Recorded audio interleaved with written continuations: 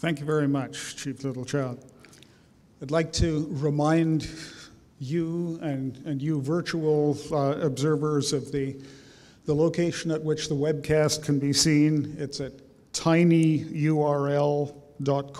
slash linking hands.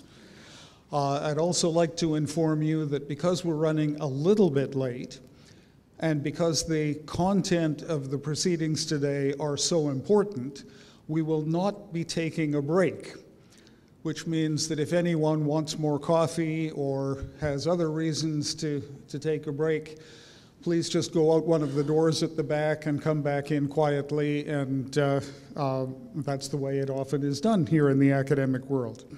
So we will not be taking a break after the next speaker. Now I would like to introduce the next speaker. Professor John Milloy, a professor of Canadian Studies and of History at Trent University, is, uh, I think it is fair to say, Canada's leading academic expert on residential schools. He was the director of research, uh, or, or, rather, the lead researcher uh, on residential schools for Canada's Royal Commission on Aboriginal Peoples and more recently has been uh, named the Director of Research, Historical Records, and Report Preparation for the Truth and Reconciliation Commission. He's the author of the book A National Crime The Canadian Government and the Residential School System, 1879 to 1986. In 2005, the Literary Review of Canada selected that book as one of the 100 most important books in Canadian history. Professor Milloy.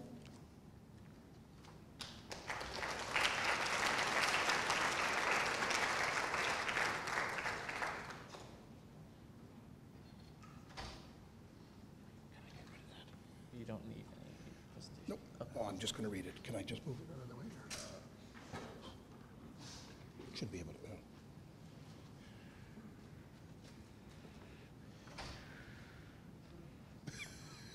I don't want to step on it, right?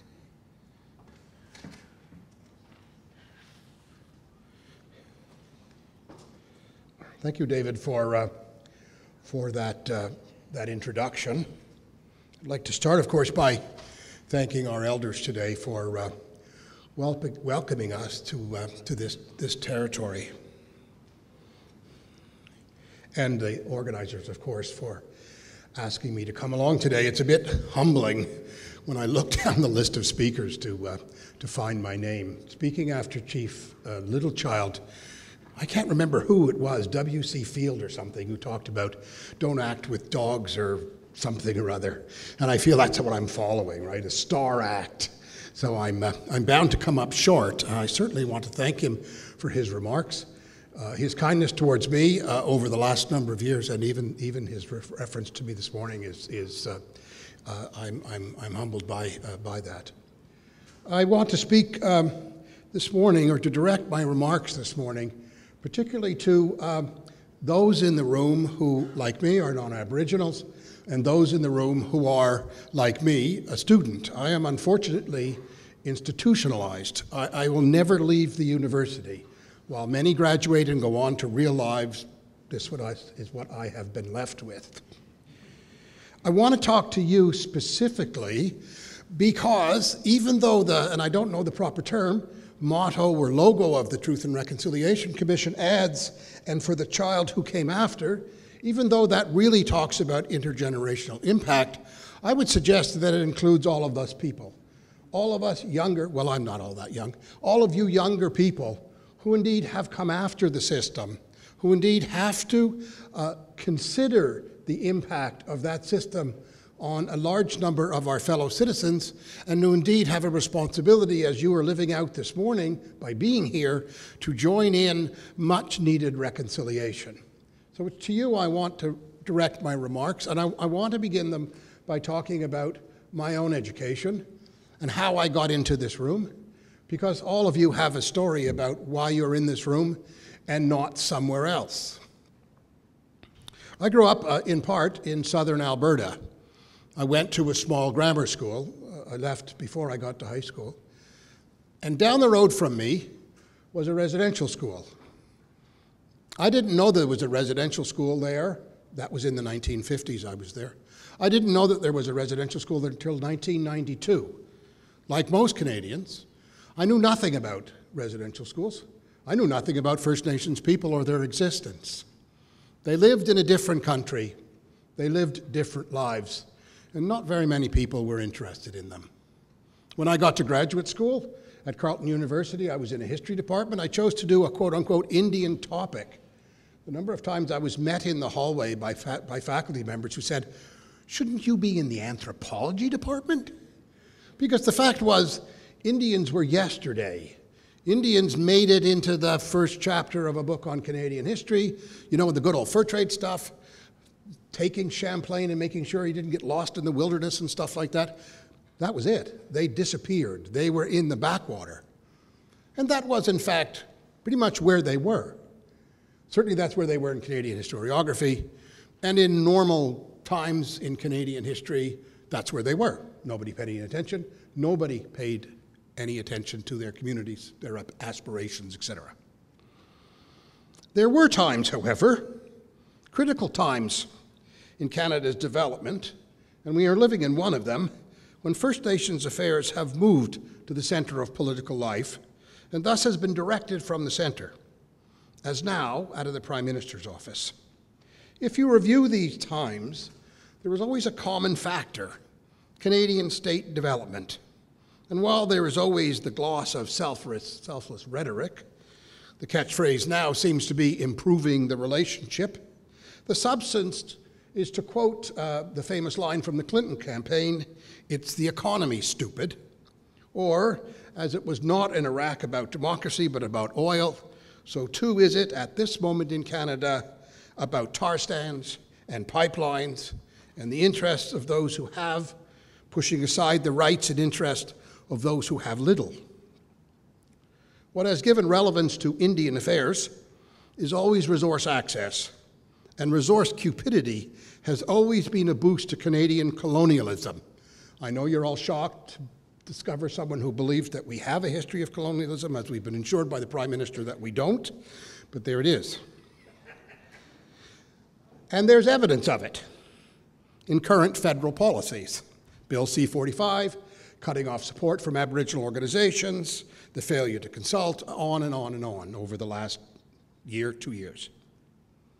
But I must, of course, I guess, fulfill my mandate this morning by talking about the past, and within that context, residential schools.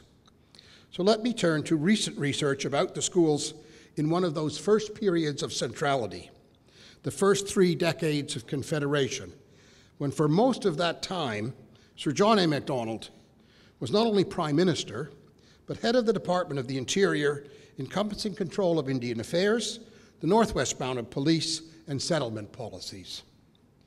Here in that period of national consolidation, Canada as empire as it was, integrating British Columbia, Manitoba, and the Northwest Territories, what would be Saskatchewan and Alberta, the economic motivation was not oil, though coal figured largely into Canadian desires, but farmland and transportation, especially for the Canadian Pacific Railroad. This challenge was met with an integrated set of policies for First Nations treaties, the Indian Act, the pass system, banning traditional practices, and most of, of most interest to us here this morning, the creation of residential school policy. These policies were designed quite consciously to achieve the pacification and marginalization of the region's First Nations so that they would be, to quote N.F. Davin and Nicholas Flood Davin, the fellow who wrote the pro residential school report for Macdonald in 1879, these people would be prepared to meet the necessities of the not too distant future, to welcome and facilitate the settlement of the country and to restore its government and to render its government, excuse me, easy and not expensive. Not a word in there about educating people, only words in there about the interest of the Canadian state. The treaties came first, 1870 to 1877, and the whole process was meant to be mutually beneficial, or so said the special rhetoric of that time. Alexander Morris, who negotiated most of the treaties, in his memoir of those times, called for a quote, wise and parental government faithfully carrying out the provisions of our treaties, for in that way Canada will be enabled to feel that our country has done its duty to the red man.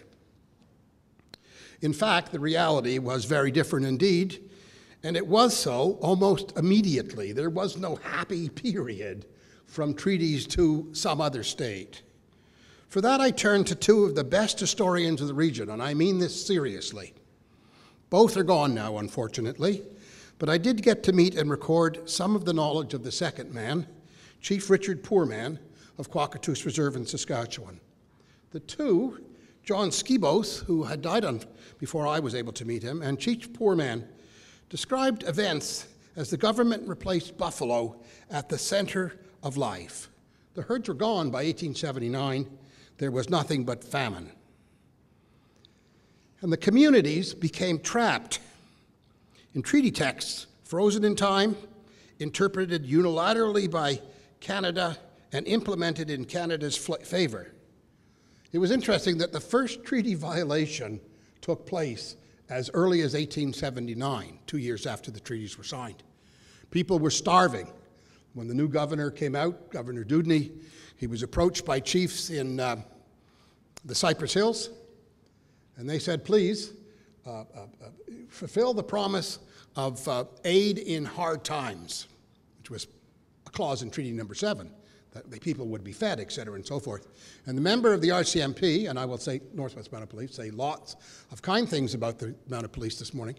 A member of the RCMP said to them, No, no, no, no, just because you're hungry doesn't mean you're starving. And that was the end of that treaty promise. Skibos put his finger on what became quickly the post treaty reality in the West. Well, they had more power in other words, it came pretty rough towards the Indians, even though they promised the Indians they would be in peace all the time after they signed treaty. But soon they established these Indian agencies and placed rough men, the Indian agents, in there. The government made the Indian agent, Indian agency, Indian affairs, and so on. Since that time, they didn't live up to the treaty. Chief Poorman's narrative is much the same but he added the long term economic consequences that would overtake nearly all the communities in the region. In the view of tribal negotiators, Poorman asserted, and he had his great great grandfather had negotiated Treaty 4, the treaties were to be amended regularly to keep pace with changing needs. It was, in that sense, to be, quote unquote, a living treaty. Thus, for example, Poorman told me every four or five years they will count their people how much they have, and based on that, they should get more land. But then, he said, the Indian agent took his course two years after the treaty. The Indian agent was put in place. They totally destroyed our treaty. There was no more treaty talks after that, and thus we were unable to talk about what was needed for us to farm continuously. Nor, he continued, referring to the consequences of the remarkable population explosion after the Second World War, could they take into account that we were going to grow? And therefore, the reserve and the treaty itself would be over time less and less useful to us. As instability grew in the region in the late 1870s, the products largely of government policy, short rations mainly, resistance taking up reserves, increasing settlement, the upsetting sojourn of Sitting Bull and his followers, and the approach of the railroad deep into and Blackfoot territory, anxiety and the anticipation of violence grew. And Morris's policy was replaced by coercion. Anxiety was common on both sides, red and white. Poundmaker, for example, the famous chief Poundmaker, on New Year's Day 1882 predicted, quote, next summer, or at the latest next fall, the railway will be close to us the whites will fill the country, and they will dictate to us as they please. It is useless to dream that we can frighten them. That time has passed. It was in that context that Macdonald moved to appoint Davin to assess education, residential education, for the Northwest Territories. Notice I stress that education, residential education for the Northwest Territories, not just education generally, nor indeed residential schools across the country, but specifically for that region. Four years later, Note, four years goes by from the submission of the report to 1883. And in those years, of course, Western conditions only got worse more famine, more violence. In 1883, of course, he adopted residential schools. That became federal policy. The strategic purpose, as the primary purpose of the schools, despite the rhetoric of the white man's burden, is clear from a number of facts. First, I had thought that MacDonald had appointed Davin in 1879 as a thank you for church support in the 78 election, which he won by a landslide. But there's nothing in his private papers, I spent the winter reading them, to show that. Sir John A. MacDonald was a good Scot like me, and the only way to read his private papers, and they're voluminous, is to drink single malt. I almost killed myself in February. What a dreadful occasion. Rather, what they show, and here is my tribute to the Mounties, is it was the uh, Northwest Mounted Police who lobbied him for the schools, beginning as early as 1878. In the opinion of Superintendent McLeod, the treaties were only a preface, he said, to achieving regional stability. They were, he said, very good as far as they go, but fall far short of what is required. And then he lists off what is required, a number of things. On that list was education. He wrote, I would recommend most strongly the establishment of residential schools at different points for both Indians and half breeds. In dealing with this question, the half breed element must not be overlooked. He is as much dependent on the supply of buffalo as the Indian, and he has claims which have already been brought under the consideration of the government. While this was about education, no doubt, the introduction or the request for schools, it was to socialize for the purpose of citizenship. It was to create the loyal subject. We've all seen, and if I had remembered to bring my pictures, I could have showed you the pictures of young residential school boys with their cadet caps on, right? Loyalty, service to the state, all the good stuff. But there was a sinister sub theme that Davin himself had come across in Washington on his study tour in 1879. He got the, the, mandate, he went to Washington, he talked to the American Indian Bureau, he had a, a look at an American uh, uh, community which was starting a red school, or where a red school was being started, and then he came to Canada uh, and talk to the Catholic Church and to some of the more prominent Métis supporters of the Canadian government. In Washington, he had a meeting with Ezra Hayt, excuse me, who was the head of the American Indian Affairs Department, who told him that he had directed Major Pratt, who was then about to leave on, uh, on, on a trip to recruit students, as he was organizing the famous Carlisle Residential School. Pratt, who had served in the West as a cavalry officer, was going to see the Cheyenne and the Arapaho, people he said who I know. He was pretty confident they'd give him his children. Hey, it said, no, you're not going there. You're going to, he said, quote unquote, the discontented branches of the Sioux Indians because their children would be hostages for the good behavior of their parents. We will take their children and we will hold them hostage. The Americans were dealing with the same problems we were, attempting to create a stable imperial area in the West. While this seems outlandish, that, that statement, a level of cynicism that reaches Machiavellian proportions, it is a sentiment that reappears in Canada. And I might want to note the connection with, with, uh, with, uh, with Davin. In 1883, Davin actually moved to Regina and started the, the Leader, the paper that's still with us. I also want to note that he was a Presbyterian, although apparently not a very saintly man. He had, uh, and why wouldn't you, an affair with the local milliner. They always in the 19th century seemed to find hat ladies to sleep with. And he apparently had, there must be a joke in there somewhere, he apparently had children with her and was seen as a rather disreputable fellow. Well, after all, he was Irish and a journalist. He couldn't get worse for that, and I guess he was an imbiber as well. In 1885, in Regina, just after the Rebe- Riel Rebellion, the church, the Presbyterian Church, petitioned MacDonald for a residential school, which was subsequently built just outside the city. In that petition, church officials included on a list of anticipated benefits that, quote, Indians would, would regard them, their children, as hostages given to the whites and would hesitate to commit any hostile acts that might endanger their children's well being. This is not a one off statement. A year later, the Indian Department uh, school inspector for the region, Inspector McRae, returned to the theme. It is unlikely that any tribe or tribes would give trouble of a serious nature to the government whose members had children completely under government control. And a final example, and there are a whole series of these examples. Again from the same year, in Parliament, Tory MP W.E. O'Brien, excuse me, who had just visited Qu'Appelle Residential School near Regina, argued for the opening of more schools in Parliament. I think they are the only hope we have of obtaining in the future anything like a grasp and a hold upon the Indian population. Therefore, he concluded, I hope the Indian Department will endeavor to encourage and develop these institutions.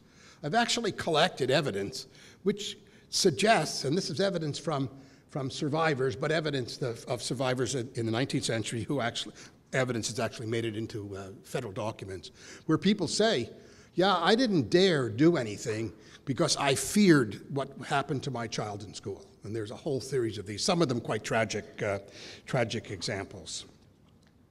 Mention of the Qu'Appelle School takes us back to MacDonald and his policies. In 1883, as the railroad was about to enter Blackfoot country, he finally acted, introducing in his budget presentation for the Department of the Interior three policies to tighten Canada's local grip. And location here is really important. First, he announced increased rations for tribes uh, in the Treaty 4 and Treaty 7 areas. It's better, he said in Parliament, to feed them than to fight them. Second, he increased funds and he increased the size of the Northwest Mounted Police, improving its military capabilities and placing additional constables to protect the line of the railroad as it ran through southern Alberta. And finally, he announced the opening of three industrial schools one at Battleford, the Qu'Appelle School uh, at Lebret, which, by the way, was a loyalist Metis settlement, didn't like Louis Riel and his shenanigans, and a third to be announced at a later date. Again, the schools were placed, as you noticed, in Treaty 4 and Treaty 7. Within a year, two more were approved, again in hotspots. One identified by MacDonald in his budget speech. These were the, there, these were the Kootenay School, which was uh, uh, on the line of uh, route, on the route, excuse me, proposed route for the CPR, that actually sent the Mounties in uh, to quell unrest in the area, even though that was quite illegal. The Mounties weren't to cross into British Columbia, but they did anyways and Kuper Island, uh, which is a small island four kilometers off the coast of Vancouver Island. As MacDonald himself mentioned in Parliament in 1883 during that budget speech, that he feared the disruption of the Cowichan timber industry by the local bands, so they got a school as well.